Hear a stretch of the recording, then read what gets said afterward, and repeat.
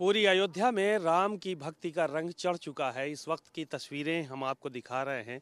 राम कथा पार्क की हैं, जहाँ पर एक बहुत ही ज़बरदस्त तरीके से सैंड आर्ट के ज़रिए भगवान राम की जो तस्वीर है, उसको बनाया गया है। यानी कि ये पूरी तस्वीर आप देख सकते हैं कि रेत से उकेरी गई है और बेहद ही शानदार नज़र आ रही है।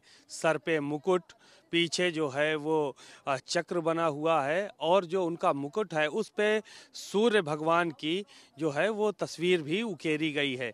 और क्योंकि भगवान सूर्यवंशी राजा थे, भगवान राम और उनके कुल देवता भी सूर्य थे, ऐसा माना जाता है तो इसलिए ये मुकुट पे सूर्य देवता की तस्वीर बनाई गई है। बगल में जो है वो बाण है और उनके गले में हार और कानों में कुंडल। आप देख सकते हैं तस्वीरों में कि कितनी ज़बरदस्त तरीके से ये तस्वीर बनाई गई है।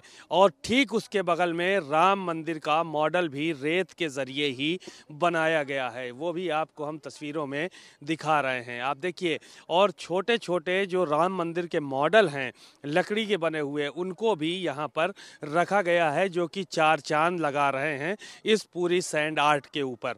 तस्वीरें ज़बरदस्त नज़र आ रही हैं और ऊपर एक भगवा कलर का झंडा भी लहराया गया है, उसको लगाया गया है। तो बेहद ही खूबसूरत तस्वीर यहाँ पर देखने को मिलेगी। दूसरी तरफ़ आपको ले चलते हैं, जहाँ पर प्रधानमंत्री नरेंद्र मोदी हाथ जोड़े हुए खड़े हुए हैं, और दूसरी तरफ़ मुख्यमंत्री योगी आदित्यनाथ की भी तस्वीर आप बनाई गई है, जो कि अपने आप में बहुत ही ज़बरदस्त लग रही है। और ये तस्वीरें ठीक ऐसे बनाई गई हैं, जैसे प्रभु श्री राम को प्रधानमंत्री नरेंद्र मोदी और मुख्यमंत्री योगी आदित्यनाथ दोनों प्रणाम कर रहे हों। तो बेहद ही खूबसूरत तस्वीर बनाई गई है और नीचे जय श्री राम लिखा गया है।